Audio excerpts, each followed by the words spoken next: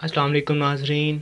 आज हम आपको चॉकलेट सॉस और चॉकलेट स्प्रेड बनाना सिखाएँगे, जिसके लिए हमें एक, हम बॉयलिंग हमें डबल बॉयलर यूज़ करना पड़ता है। और अगर आपके पास डबल बॉयलर नहीं है तो आप घर में एक छोटे से बर्तन के अंदर हाफ़ गिलास पानी, उसको तेज़ आँच पे गर्म कर लें। और इस बर्तन को मैं इसको ऊपर आके रखूँगा। अब ये चॉकलेट का इसके लिए हमें एक चॉकलेट का पीस बनाने रखना हमने चॉकलेट स्प्रेड बनानी है, इसीलिए हमारे लिए एक चॉकलेट का पीस कोई भी आप चॉकलेट ले सकते हैं रेडी मिल्क ले लें, या कोई भी ले लें। अब इसको हम इसको ऐसे गर्म होने देंगे, और ये चॉकलेट जो है, इसको पहले मेल्ट हमने करना अच्छी तरह से। हम इसके अंदर ऑयल डालेंगे वन टेबल स्पून फ़िलहाल के लिए वन टेबल स्पून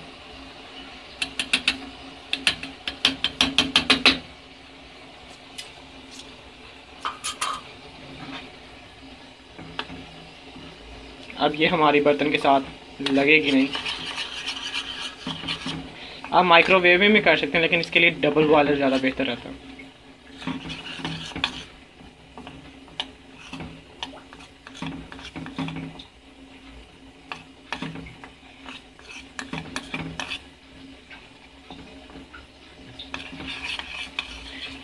चम्मच को बार बार हिलाते रहना ताकि इसमें जो गुटलियाँ हैं, वो ना बने।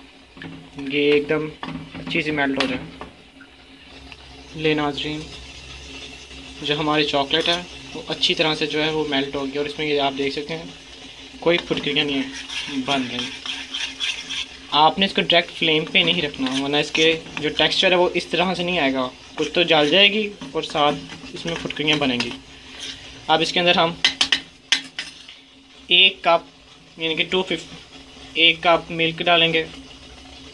ये आप मिल्क पैक का भी डब्बा ले सकते हो या खुला भी ले सकते हो। मैंने खुला लिया। लेकिन और फुल क्रीम वाला milk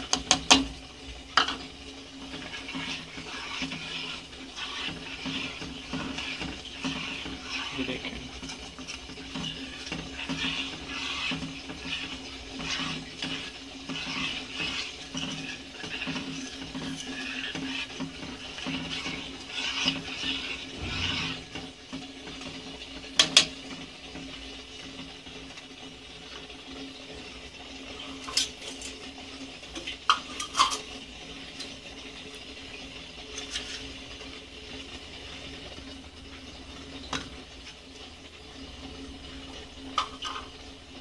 two tablespoon sugar because इसके अंदर हमने ऐड की थी चॉकलेट उसकी भी मिठास होती है और चीनी की भी। हम वन से टू टेबल स्पून ऐसा रिक्वायर आप जितना मीठा पसंद करते हैं। मैंने ये इसमें दो टेबल स्पून शुगर ऐड किया।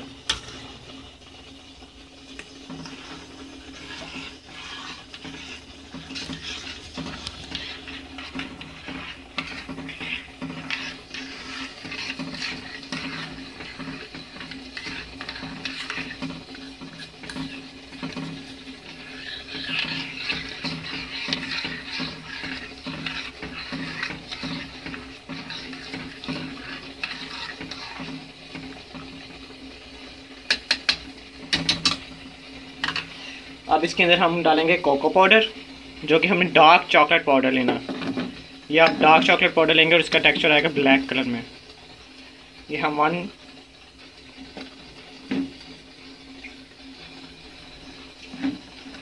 टू टू से हम थ्री टेबल स्पून हम इसमें कोको पाउडर ऐड करेंगे। उसके बाद आप देख लीजिएगा कि आपको कितना इसका कलर डार्क चाहिए। मुझे इसका टेक्सचर ब्लैक कलर में चाहिए। अगर आपने ब्लैक फुल डार्क ब्लैक में जाना है तो आप इसके अंदर थोड़ा सा फ़ूड कलर लिक्विड में जो होता है, या जेल आप लिक्विड जेल में ले लें जेल फ़ूड कलर ले लें, या लिक्विड में लेके थोड़ा सा ब्लैक कलर उसके अंदर दो से थ्री ड्रॉप्स ऐड कर लें। तो वो आपको ब्लैक चॉकलेट या ब्लैक सॉस या ब्लैक स्प्रेड आपकी जो है वो रेडी हो जाए मुझे डार्क चॉकलेट चॉकलेट चाहिए इसलिए मुझे और आपने इसको अच्छी तरह से हिलाना है। अच्छी तरह से आपने करना है ताकि इसकी जो है, ये साइडों पे जो है आपको नज़र आ रही है ना, ये फुटकरियाँ, ये जो साइडों पे लग रहा है, वो ना लगे। एकदम मुलायम हो। और आपने इसको यहाँ तक पकाना कि ये गाढ़ा हो जाए। ऑयल भी हम इसमें और डालेंगे, ताकि ना अच्छा से इसका टेक्सचर निकले। ये इसका टेक्सचर है। अब इसके अंदर मैंने पहले एक tablespoon one tablespoon डाला था ऑयल अब हम एक और वन टेबल स्पून ऐड करेंगे ऑयल ताकि जो है सॉस जो है, वो बर्तन के साथ ना लगे. टू टेबल स्पून से इनके three tablespoon oil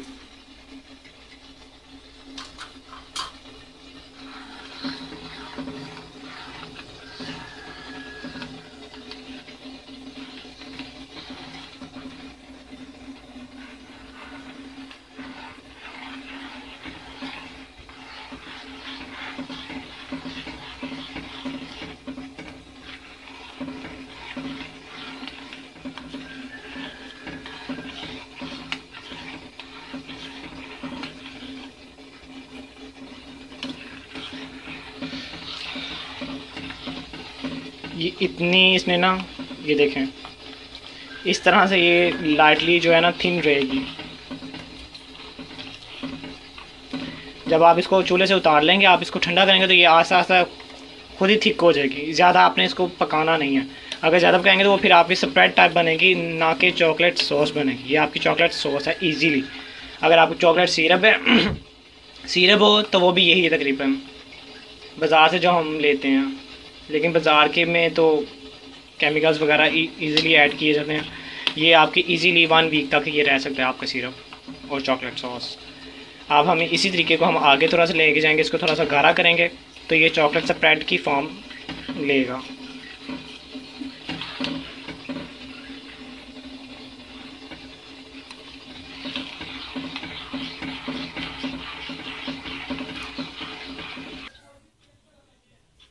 chocolate spread के लिए मैंने थोड़ा दो टेबल टू टेबल स्पून इसमें मैंने और कोको पाउडर ऐड किया। आप जितना कोको पाउडर इसमें ऐड करते जाएँगे, ये ज़्यादा थिक होती जाएगी। ये अभी गर्म है, इसीलिए ये इस फॉर्म में है लिक्विड में। जैसे ये इसको हम फ्रीज़र में रखेंगे आस्ता आस्ता ये ठंडी होती जाएगी, ये इजीली अपनी चॉकलेट स्प्रेड की तरह हो जाएगी। जैसे आप लाइक कह लो जैम हो गई न्यूट्रेला हो गया, ये वही चीज़ है। इजीली आप घर में इसको बनाएँ और केक में पेस्ट्री पे और ब्राउनी पे ख़ास तौर पे ये ब्राउनी में ज़्यादा यूज़ होती है। जो बेकरीज होती हैं बेकरी में ये, इसी, यही टैप यूज़ करते हैं, यही चीज़ यूज़ करते हैं, ना कि वो डब्बी ही यूज़ करें चीज़।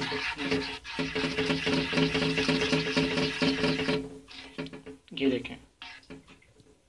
इसमें गुटली ज़रा से भी नहीं बननी चाहिए। ले नाजरीन, ये है चॉकलेट सॉस ये मैंने सिर्फ़ थोड़ी देर अभी थोड़ी सी ठंडी है।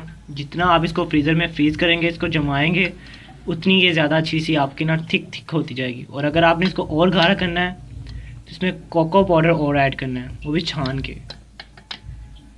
ये हमारा फाइनल लुक थी।